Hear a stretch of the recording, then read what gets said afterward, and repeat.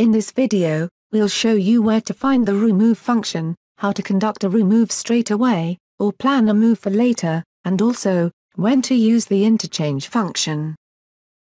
You can carry out a room move, in the control center, the rooming list, the in-house guest overview, and the room rack.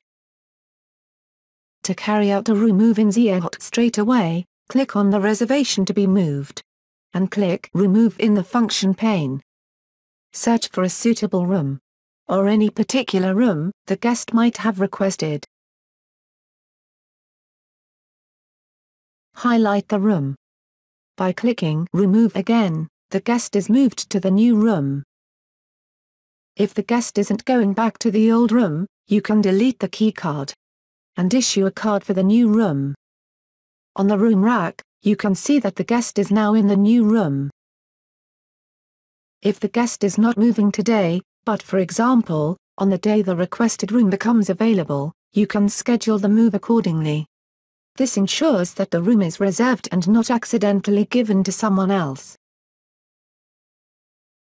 To schedule a move, call up the Room Move dialog. Enter the date on which the guest will move. And search for the room the guest will be moving to. Highlight the new room. And click Remove. SIHOT creates another reservation for the stay in the new room, and shortens the stay in the original room.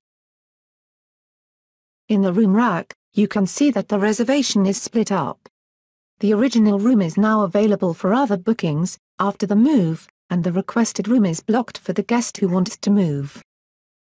In the housekeeping menu, you can find an overview, showing all room moves scheduled for any particular day. Call up the Room Moves dialog to carry out a planned move. Make sure, the new room is vacant and ready, before moving the guest delete the old, and issue new keys as required. On the room rack, you can immediately see that the guest has moved rooms. The interchange function is useful, when you find out that guests have swapped rooms among themselves. Start by highlighting one of these rooms, then click Interchange Rooms, in the function pane. Now call up the other room. By clicking Interchange Rooms again, SIHOT will swap the guests in these two rooms. If required, you can delete the old keys and issue new ones for both rooms.